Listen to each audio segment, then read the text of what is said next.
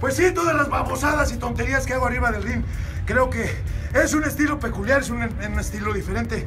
Pero creo que junto con, con un guerrero, guerrero de, de Tulpepec. De Laguna. Ah, de la laguna, de laguna. Nosotros somos de Chinches Bravas. Por eso, regreso otra vez. Bien rehabilitado. Ya sabe toda la gente cuando mis desapariciones porque me encierran. Pero no me importa. De ni modo que los Honda tengan un cuerpo de borracho. Pero bueno, señores, aquí está la peste negra. El luchador mexicano Mr. Niebla falleció este día a los 46 años de edad. Ya son 10 años con el concepto de la peste negra. Pero no importa. Por eso somos luchadores profesionales y nos brindamos al 100%. No me importa que sea mi hermano, que sea mi primo, y menos tú, negro Casas. ¡Ching!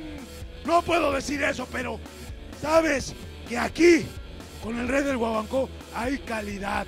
Calidad luchística, a pesar de que esa pinche bola de idiotas me critiquen, que soy un payaso, que vengan y me lo demuestren. Conocido también como el rey de Guaguanco, estuvo hospitalizado hace algunos meses por una infección en la sangre después de ausentarse de algunas funciones en lo que estaba programado por el Consejo Mundial de Lucha Libre. El luchador aclaró que la razón fue una lesión mal atendida que derivó en una infección en las vías sanguíneas que afectaron sus articulaciones y sus huesos. Todo empezó hace tres meses con una luxación en el codo derecho mientras luchaba en Oaxaca.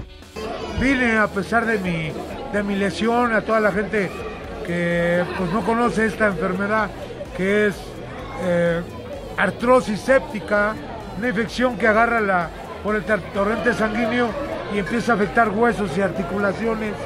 Y por eso ahorita me veo como la momia de Guanajuato que salió con mil máscaras y el santo, hijo de la chica. Este día el Consejo Mundial de Lucha Libre anunció el deceso del luchador. Gracias a Dios se está demostrando, mucha gente ahorita me alientó, Mr. Niebla, ya estás, ya estás bajando de peso, ya te ves mejor, qué bueno, esas son cosas muy motivantes para mi persona, para mí, mi problema tan, tan, tan, tan grave, creo que esto es muy aliciente para seguir adelante en esto, en esto que me gusta, esto, esto tan bello que es la lucha libre.